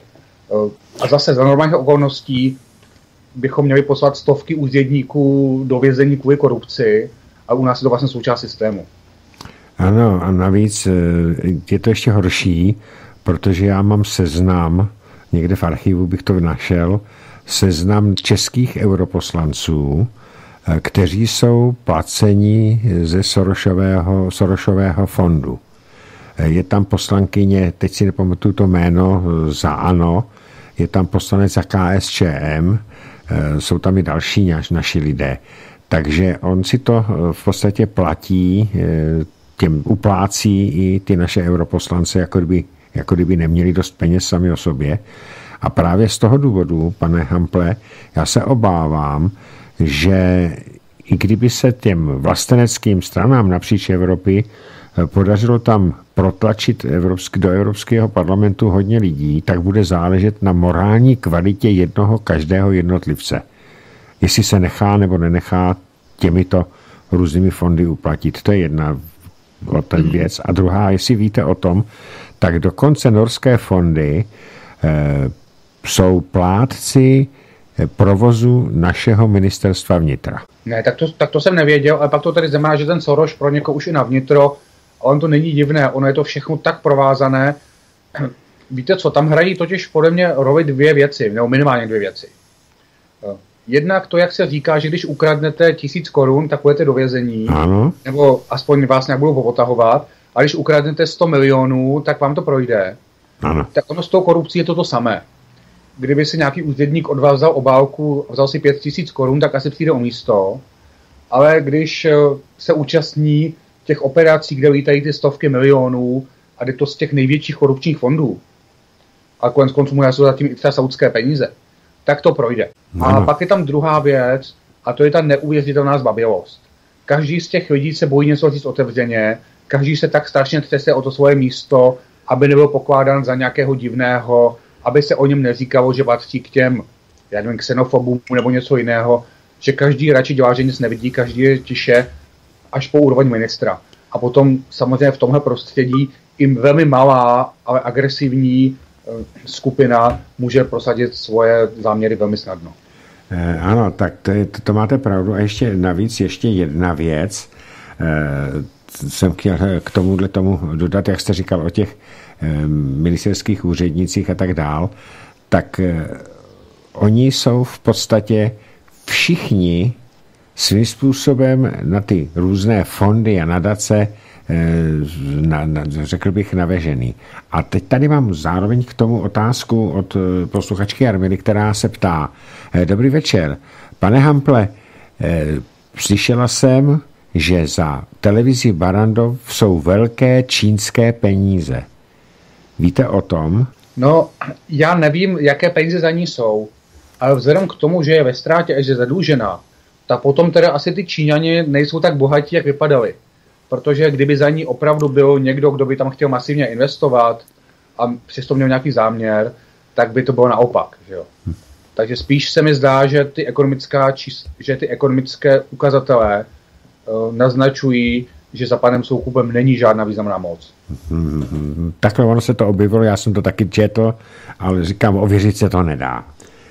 No, rozhodně, rozhodně se nestalo to, že by ten investor uh, tu skupinu úplně vytáhl z dluhů a dal jí tolik peněz, aby mohla bez obavy expandovat. Jasný. Eh, další otázka. Dobrý večer, pánové, výborný pořad. Pomozte vyzvat SPD, prosím, aby poslalo své členy mezi vlastence s požadavkem na spolupráci a zadáním konkrétních úkolů. Prosím o komentář vás obou. Díky, Alena Severní Morava. Tak, pane Hample? No, já si myslím, že to je hezká poznámka, akorát, že ten telefon měl směřovat k někomu jinému, Nicméně já můžu slíbit to, já se za pár dní uvidím s panem poslancem Volným, tak mu to budu tlumočit. No tak eh, paní Aleno, já tady eh, měl pana poslance Volného minulý týden.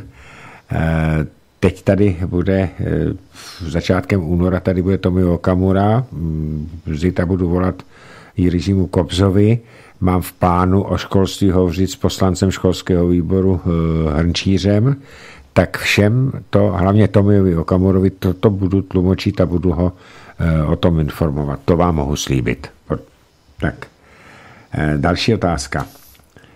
Dobrý večer, pane Hample, máte perfektní názory, jen ty dvě vaše slova skřípou v uších. Klaus a výraz neomarxismus. To první je zbytečné vymlouvat a to druhé je k zamýšlení a snad naděje na změnu rétoriky. Když mluvíte eh, o nějaké společné pronárodní frontě, uvědomujete si, kolik lidí hlásících se více či méně k marxismu si odháníte? Dle mého je to většina těch pravičáků, tam zase tolik, je to většina těch pravičáků, tam zase tolik nebude. Kauze jsou ochotní tolerovat jen protože se vyjadřuje pro národně, nic víc. Děkuji a přeji úspěch. Samozřejmě jsme na jedné lodi, Pepu Skálu na vás. Petr eh, D. Pepa Skála mi slíbil, že mi dá zítra vědět, zdali za týden tady bude mít čas vystoupit. Pokud ne, budeme se dohadovat o co nejbližším dalším termínu. To je jenom pro vás. Tak, pane Hamplet, to byla otázka na vás. Uh, tak, uh, myslím, že o Václavu Klauzovi ještě v následujících měsících uslyšíme hodně. Já nějak neskrývám s tím, že, nebo neskrývám se s tím, že Václav Klauze svým způsobem obdivuji a, a beru ho a mám za to, že uh, mnoho, co se o něm říká, je nespravedlivé a že bychom teď měli třeba hodiny času, že bych to možná i dokázal obhájit. Nicméně on je dospělý člověk, nechce hájit sám. Ale co se týče toho neomarxismu, tady totiž vznikl asi takový nějaký omyl nebo nedorozumění, které nějak spojuje to svůj neomarxismus, že je to marxismus, s tím režimem, který byl v předlistopadovém Československu. A který z pohledu mnoha lidí měl nějaké pozitivní věci, že byl třeba sociálně ohleduplný nebo něco takového. Ale když se mluví o neomarxismu většinou, tak se tím myslí něco vlastně jiného. Myslí se tím myšlenkový směr, který vzniknul ve 20. letech 20. století v Německu, primárně ve městě Frankfurt, kde skupina takových hodně vyšinutých německých intelektuálů vzala některé myšlenky Karla Marxe, snad je vytrhla z kontextu a zcela jistě je rozvinula do podoby, kterou by určitě ani sám Marx nepoznal. Protože Marx, někdo s tím souhlasí, někdo ne, já s tím spíše nesouhlasím. Rozhodně Karel Marx měl za to, že západní civilizace je dobrá, eh, že věci, které se staly v těch desetiletích před ním, že je dobré na to navazovat. A rozhodně myšlenka zničit západní civilizaci by byla starému Marxovi totálně proti mysli. Nicméně našla se skupina lidí, kteří nějak z těch Marxových spisů vyvodili to ospravedlnění pro úplné zničení západní civilizace. A pro úplnost říkám, on to nebyl z Marxe, oni stejným způsobem zpracovali i Freuda. A tehleté, oni vlastně sami se začali říkat neomarxisté a proto se to slovo dál používá. Tak eh, možná, že bychom časem mohli najít nějaký jiný termín. Rozhodně jsem tím se nechtěl nějak dotknout třeba členů komunistické strany, protože jejich marxismus je trochu jiný. A neříkám, že s nimi souhlasím, ale s tímhle nemají nic společného a za tohle nemají odpovědnost. S tím souhlasím. Dodávám já, co říká eh, bývalý místo předseda KSČM, že současný eh, představitelé takzvaného, jak on to říká, neomarxismu, s učením Karla Marxe skutečně nemají nic společného. Oni si vzali to jeho jméno jenom jako záštitu, Eh, protože do dnešní doby je Karel Marx v západním světě považován za druhého nejvýznamnějšího filozofa historie lidstva. Takže... Já, já bych teda s tímhle tím asi jako nesouhlasil tak úplně, protože když ty jejich spisy čtete, oni i toho Marxe docela často citují. Nicméně opravdu ty závěry, k jakým docházejí, rozhodně nejsou ty závěry, se kterými by asi Karel Marx souhlasil. souhlasil. Já s váma souhlasím. Já jenom říkám, že se tak za, oni nazvali sami a máte pravdu, já nevím lepší, lepší název než to. E, taky se tomu říká neokoni. E, neokoni je ještě trochu jiná skupina, ona teď v posledních letech spívá, ale myslím, že myšlenkově jsou tam ty kořeny jiné. E, neokoni se rozhodně neodvolávají k Marxovi. No, no, to je pravda, ty se neodvolávají k Marxovi. Nicméně v tuto chvíli se mi zdá, že ty skupiny fakticky splynuly ano, a směry jsou shodné.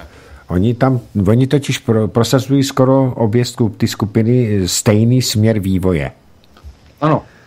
A já mám za to, že to, co je spojuje, je orientace na elity. Oni se snaží sloužit těm elitám, ano. tak jak se sformovali za posledních 50-60 let a ono pak nakonec ta ideologie je to menší, že jo, záleží, komu sloužíte. Přesně tak a o, tom, o těch elitách nádherně píšete právě v té vaší skvělé knize. Další otázka, dobrý večer. Otázka pro oba pány. Co říkáte na čínský sociální kreditní systém eh, od roku 2020 eh, to EU eh, asi zavede, má k tomu kladný vztah k těm tezím. Ptá se Mirek Skralup. Tak Pane Hample, nejdřív vy, jestli můžete? Ano. Já jenom pro posluchače, ten systém spočívá v tom, že je hodnoceno všechno, co člověk dělá, od toho, co jí, jaké jídlo si kupuje, co vyhledává na internetu, jak tráví volný čas, vlastně jako ve všem je sledován. A podle toho musí přidělovány kredity, podle kterých si může koupit letenku, může dojít k lepšímu nebo horšímu lékaři, může poslat svoje dítě na nějakou školu nebo cokoliv jiného. A mě nijak nevadí, že tenhle ten systém mají aplikovaný v Číně a konec konců mi připadá, že svým způsobem to je nějak v souladu s čínskou tradicí a s jejich civilizačními hodnotami. Protože tam je to vždycky orientace více na kázeň a více na větší celky než jednotlivce. Ale Evropa, evropská civilizace je jiná. Pro nás vždycky byla strašně důležitá osobní svoboda, kvůli tomu se dělaly revoluce, kvůli tomu lidé umírali na hranicích a jinde vždycky pro nás byla důležitá svoboda projevu a ta představa, že nějaká vláda, dokonce i když to dobrá vláda, mě bude každou minutu sledovat a bodovat můj život a určovat ho a podle toho mě se úplně vyřadí ze společnosti, to je, to, to je děsivé. Eh, ale vlastně, když tak o tom přemýšlím, nepřekvapuje mě, že Evropská komise nějaký takový úmysl má, pokud ho má, protože cokoliv na světě se obliví a je to špatné a ničem ne, tak to si dříve či později Evropská komise osvojí. No a já panu, panu posluchačovi Mirkovi bych jenom řekl jednu věc. Ten čínský systém je do dokonalosti dovedený Orwellův román 1984. To oni ty Číňaní, když zjistí, protože mají všechno pod kontrolou, že budete jíst hodně často tučná jídla, tak se asi máte příliš dobře, což není dobře, protože budete obézní a budete víc zatěžovat zdravotní systém a sociální systém, tak dostanete těch kreditů mý, nebo dostanete menší kredit a dostanete méně peněz, aby se si ty tučná jídla nemohl kupovat.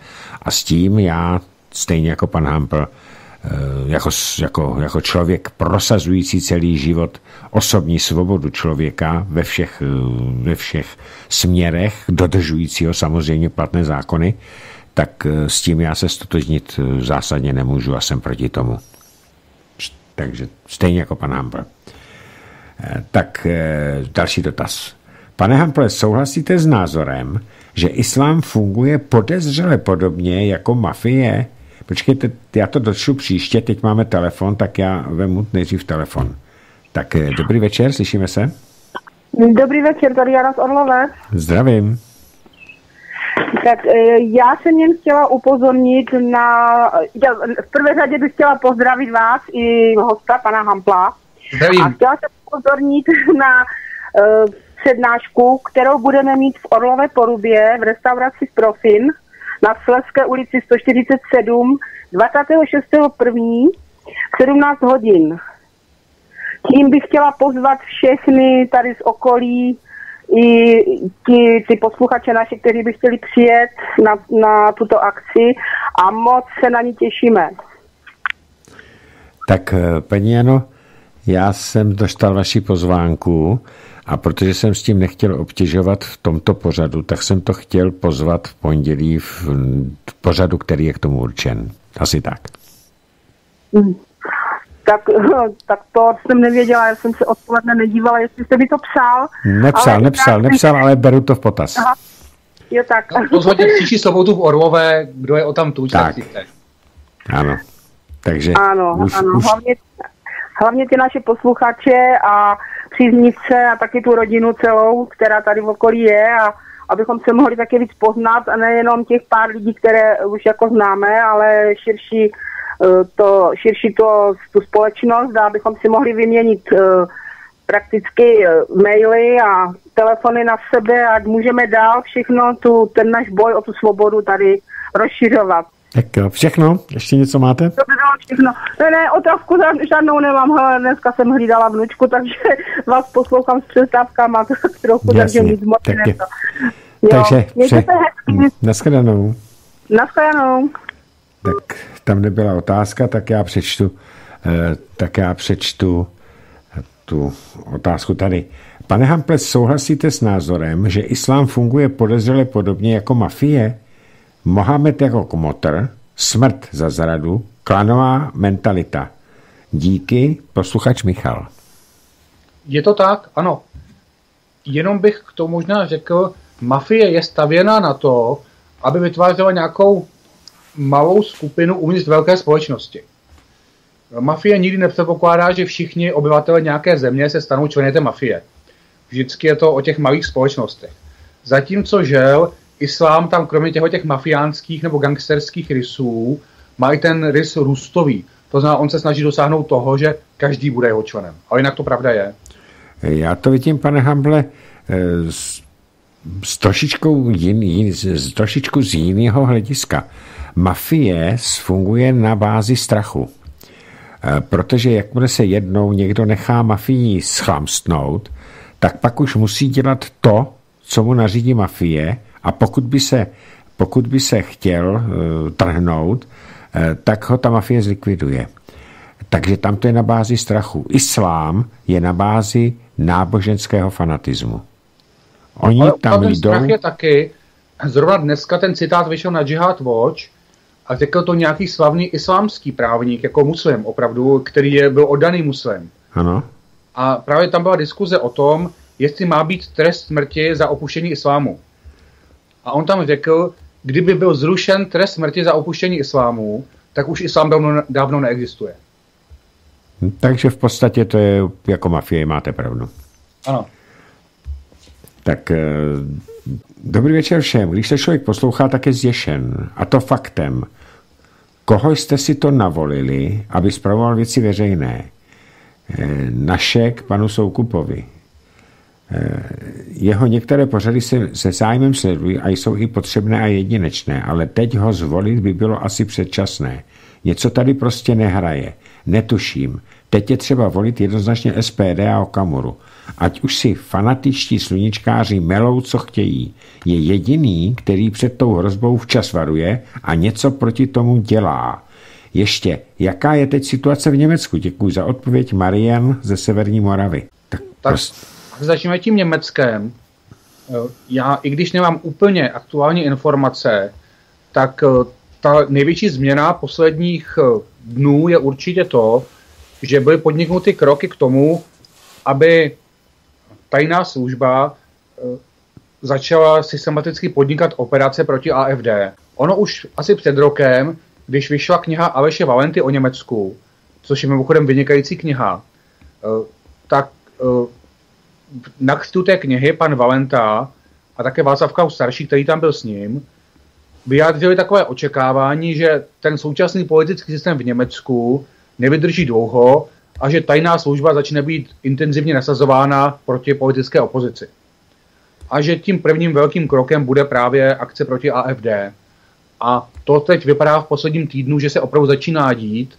Eh, tím se AFD dostává do takové velmi těžké situace, kterých kancelářem vybuchují bomby, jejich lidé jsou přepadáni a skoro zabíjeni a zároveň z druhé strany pod nich jde tajná služba. E, takže není vyloučeno, že do roka, do dvou bude mít na hranicích opravdu drsný totalitní stát, takový, jaký v Evropě už nebyl třeba 50 let.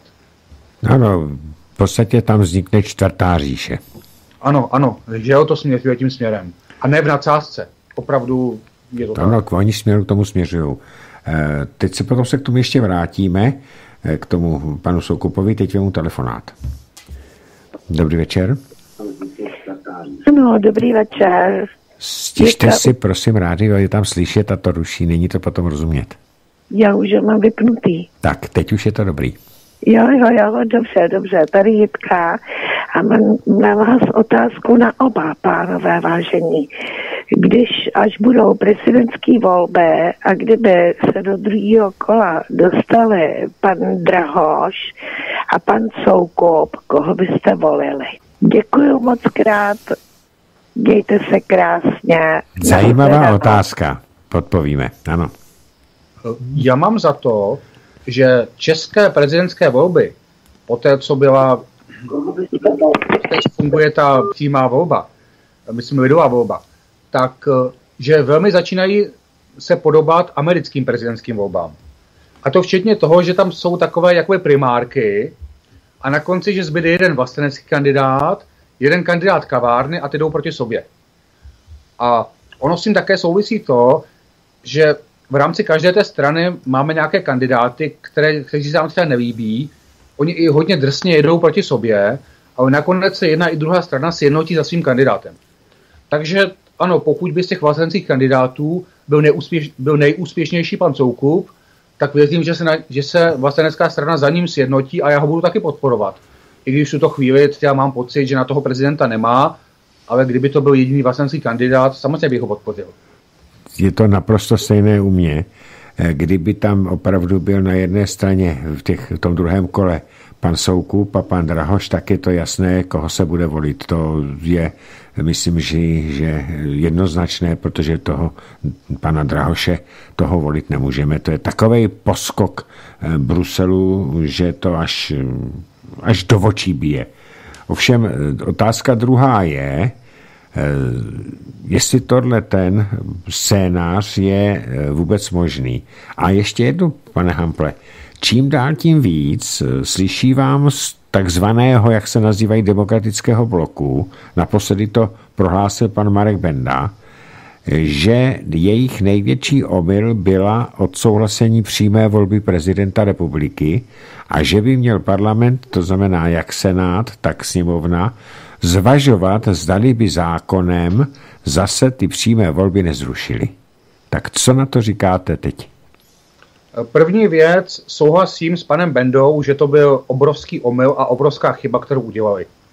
Oni si opravdu představovali, že to bude jenom taková formalita, že se koupí za 100 milionů reklamní kampaň a posadí se na nějaký Schwarzenberg nebo Drahoš a lidé, že se nechají tak snadno zmanipulovat, jako se nechali zmanipulovat při vstupu do Unie, kdy se prostě udělala velká reklamní kampaň, lidé to se odhlasovali, nikdo vlastně ani nevěděl, co a bylo to. Jenže se připočítali v tom, že se mezi tím změnily poměry. Mezi tím nezávislá média, jako je třeba vaše rádio, mají daleko silnější pozici vznikly eh, různé facebookové skupiny, vlastníci se, vlastníci se schází, eh, probíhají různé mailové komunikace, lidé sledují situaci, objevily se řada nezávislých serverů. Prostě společnost se změnila a společnost už je schopná klást odpor. A skutečně lidé jako pan Benda si tohle vůbec neuvědomili, proto s takovou snadností pustili tu přímou volbu prezidenta a najednou zjišťují, že tedy lidé se chovají jinak, než jim bylo předepsáno. A dá se čekat, že udělají všechno pro to, aby buď to zrušili tu přímou volbu, anebo aspoň, aby tak omezili pravomoci prezidenta, eh, aby nemohl nějak narušovat eh, jejich záměry. Ano, v podstatě eh, oni totiž počítali s tím při, při, při pr, první volbě prezidenta, proto si najali agenturu, která dělala eh, volební kampaň Clintonové, tak počítali s tím, že se tak zblbne veřejnost, že zvolí Karla Schwarzenberga a ti američtí eh, experti byli totálně zděšení, když český národ neskočil jim na špek. I při té masivní kampani, kdy byl Schwarzenberg pomalu, já jsem se bál otevřít prkínko na záchodě, aby na mě nevyskočil Karl Schwarzenberg. Ano, ano, ano, bylo to tak. Tak. Prostě se to nepomohlo. Ale tedy mimochodem, oni ti experti byli potom asi stejně zděšeni, když uh, už měli zaplacený ten večírek na oslavu prezidentství Hillary Clinton. Ano, ano, je to tak. Takže ještě, ještě máme další telefonát. Dobrý večer. Dobrý večer, tady paní Irena a pozdravu vás, pane Kapale a pana Hampla. Já bych měla jenom otázku, aby se chtěla zeptat. Už jste to řekl najisto, že budeme za muslimování, stoprocentně. Tak co máme dělat? Máme tu vůbec v České republice zůstávat nebo odcházet?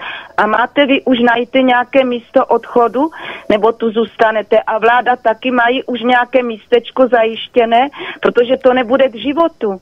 To bude prostě hrob tak já bych se chtěla zeptat, co jak dál máme dělat.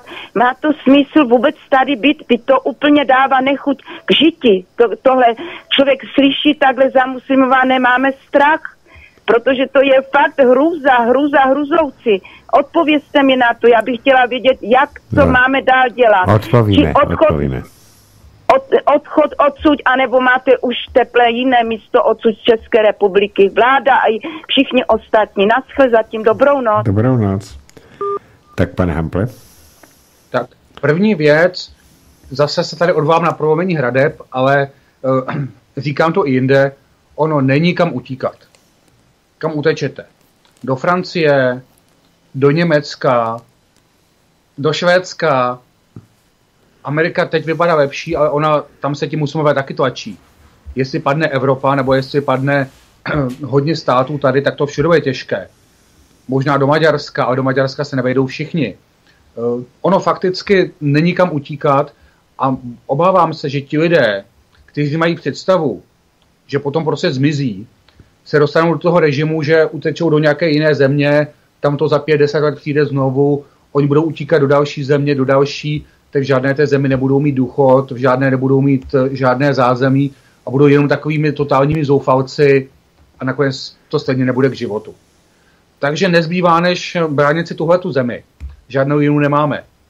A e, já naprosto chápu ty deprese. A jsou zcela oprávněné, protože ta situace opravdu je těžká. Možná kromě období německé okupace nikdy v dějinách tohoto národa nebyla tak těžká situace jako teď. A, ale takový dobrý lék na ty deprese, a já to vidím na sobě, ten dobrý lék je práce. Takže radím, zapojte se do nějaké místní vlastenecké skupinky, jestli o žádné nevíte, tak napište pane, panu Kapalovi nebo mě e-mail, my vám někoho doporučíme a začněte pracovat. Té práce je spousta, tady je zapotřebí tisíce rukou, hodiny a hodiny, takže jestli máte nějakou kapacitu, netravte to tím, že budete v depresích, ale přetavte tu, ten strach v odhodlání.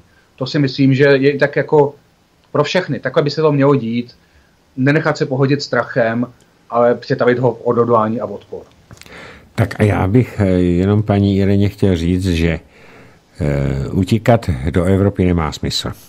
Utíkat do Spojených států nemá smysl. Stejně na tom je Kanada. Stejně na tom je Austrálie. Ty všichni jsou už pod vlivem těch, eh, jak tomu říká docent Valenčík, globálních mocností. Hodně lidí před islámem a v podstatě strašlivým životem ve Švédsku utíká do Ruska ale utíkají tam lidé, kteří zaprvé mají peníze a využili nabídky ruské strany, že jim tam dají půdu, aby tam farmařili, dali jim deset let daňových prázdnin na rozjezd, ještě dostanou zadarmo eh, tu půdu, dostanou zapakatel a ještě dostanou nějaké velké dotace, aby tam rozjeli ty farmy, protože jsou to většinou farmáři. Takže to je jedna věc. Potom Eh, jediná země, o které se ví, že není zasažená těmi globálními mocnostmi, eh, neomarxisty, tak je Nový Zéland. A tam si právě ti pankéři, kteří se obávají, kdyby se to opravdu zvrtlo, tak si tu zemi schovávají pro sebe. Takže tam je velmi obtížné získat Eh, třeba právo azylu a nebo eh, dokonce občanství. Eh, Nový Zéland se tomu velice tvrdě brání. Takže a správně to je, co říká pan Hampel, naprosto s ním souhlasím, je to všechno jenom na nás, my se musíme snažit eh, rozšiřovat myšlenky, abychom se v podstatě zesílili, aby nás bylo co nejvíc s tím vlasteneckým cítěním. A druhá věc, eh, ti mladší by měli cvičit, měli by se naučit zacházet se zbraní, měli by se hlásit do různých e, spolků, kde se ta e, fyzická e, stránka utužuje, aby se uměli bránit, protože oni ti muslimové, ale i ti afričané spolehají na to, že Evropané jsou změkčilí a neumí se v podstatě prát. A to je potřeba změnit. Je tam potřeba, abychom zase do sebe dostali chlapskost, agresivitu. Ano, ano, ta agresivita je důležitá. Přesně tak. Takže eh, takhle bych to asi já viděl a ty spolky eh, zakládat opravdu a šířit to a snažit se Eh, čemně. A druhá věc, co nám radil pan bezpečnostní expert. Jakmile uvidíte nějakého migranta, který se chová v rozporu s našimi zákony, okamžitě volat policii. Okamžitě volat policii, protože policie má za, eh, za povinnost chránit zákony této země. Takže neváhat, nedělat mrtvého brouka, ale volat na ty, na ty narušitele policii. A znepříjemnit jim to tak, aby sem sami nechtěli. Tak, eh, pane Hample, poslední otázka dnešního večera. Dobrý večer, ještě jednou posluchač Michal. Před časem jsem se s hrůzou dozvěděl, že obdoba čínského kreditního systému je i v České republice. Jmenuje se to Telekoskore a využívá informace z provozu mobilních telefonů. Slyšel jste, pane Hample, o tom? Neslyšel a na mě teda to zkoušet nebudou.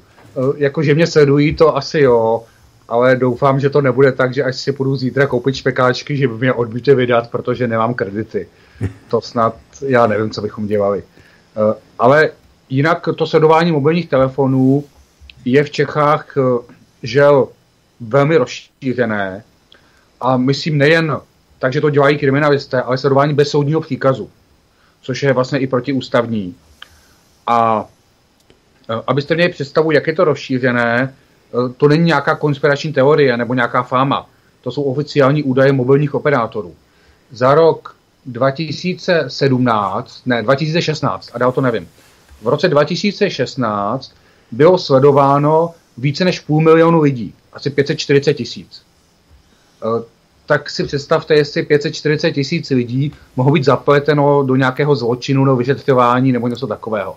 Je jasné, že jsou tady sledovány 100 tisíce lidí, kteří, kteří ani nejsou podezřelí žádné, z žádného přestupku a o kterých proto neexistuje nejmenší právní důvod.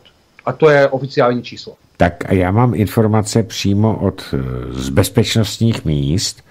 Eh, jsou to informace z roku 2016 a tam se hovořilo o tom, že po České republice jezdí několik eh, osobních aut nenápadných, které jsou napěchované milionovými, eh, opravdu milionovými technologickými zařízeními elektronickými.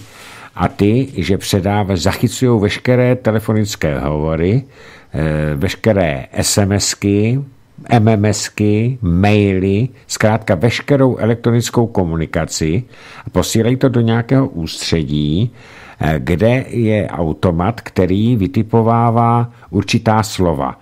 Takže například, když se tam objeví bomba, tak ten automat to vyřadí, dá to e, operátorovi a ten si ten hovor poslechne. Ty ostatní hovory jsou sice odposlouchávané, ale když tam tyhle ty slova ne, neplatí nebo nezazní, tak, tak to nechá, proběhne to a nikdy se to nezaznamenává. E, to je jedna věc. Druhá věc. O všech lidech, kteří nejsou totožní s vládní politikou, tak jsou považovaní e, tou sledovací, teda tou bezpečnostní službou, ať už je to jakákoliv, za potenciální nebezpečí. A tyto lidé jsou odposloucháváni neustále. Takže e, vidíme to tady na Svobodném rádiu. Zdravím pány, který nás poslouchají za peníze, e, protože vím, že jsme den co den odposlouchávání a zase to mám z těch míst velice blízkých, k těmto službám a vím, že i třeba, pane Hample, vy jste odposlouchán, každý váš telefon je odposloucháván, můj taky. E, jsou tady vytipováni lidé, e, kteří jsou známější, kteří veřejně působí a nejsou příznivci e, Evropské unie a multikulty a genderové ideologie a tak dále, no a ty jsou všichni odposloucháváni. Eh, jediná eh, ochrana je nemít mobilní telefony a nakoupit si krátkovlné vysílačky, ale eh, i ty by se dali poslouchávat. Takže takhle to je. A jenom k tomu doplním, bezpečnostní experti říkají, říkejte do, mobilní, do mobilního telefonu nic, co byste neříkali volně v hospodě. Pořád počítejte s tím, že to někdo slyší. Přesně. Tak chovejme se podle toho. Přesně tak. Ono to, eh, zase jsem, máte pravdu a ještě jsem slyšel ještě jednu takovou radu, Vraťte se zpátky ke dopisům, protože dopisy jsou přece jenom dneska už nekontrolované, jako byly za třeba minulého režimu, protože nic jiného nebylo. Ano, to je pravda. Ale zase nepišme ty dopisy na počítači, ale chce to psát i v ruce. Přesně tak, v ruce. A úplně nejlepší je se setkat a vyřídit si to soukromně, ano, osobně. Ano, tak. Takže, pane Hample, já vám děkuji, moc krát vám děkuji za to, že jste si na nás udělal čas, bylo to velice zajímavé.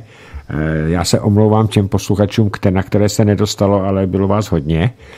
A eh, já se potom zase některý, za nějaký čas ozvu a můžeme probrat eh, do detailu i ten problém s tím školstvím. Jo, jo, jo, jo? určitě rád. Tak fajn. Takže no, přeju vám... za večer a dobrou noc, hezký večer. Ještě vám přeju, ať se vám daří, aby se vám eh, na té schůzce, já to ještě v pondělí zopakuju, kdy to je a kde to je, tak aby se vás tam sešlo co nejvíc a těším se na zase, na, zase na nějaké další skvělé knížky, jako bylo Prolomení hradeb. Jo, děkuju. Takže dobrou noc. Dobrou noc. Vážení přátelé, a já se loučím i s vámi. Pustíme si teď písničku mých oblíbených eh, Hana, Hany a Petra Urlichových. Já nevím, jestli to bude zpívat oba dva. Eh, jmenuje se to Zpěvanka na lásku. A já mezi tím předám vysílání dalšímu studiu Soborného rádia. Ze studia Beta vám přeji dobrou noc a uslyšíme se opět v neděli.